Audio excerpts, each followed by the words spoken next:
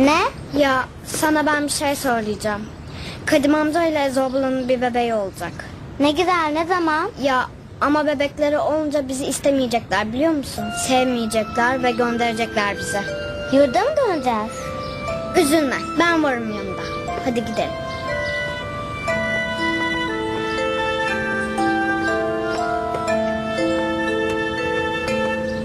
Üzerime yürüdü.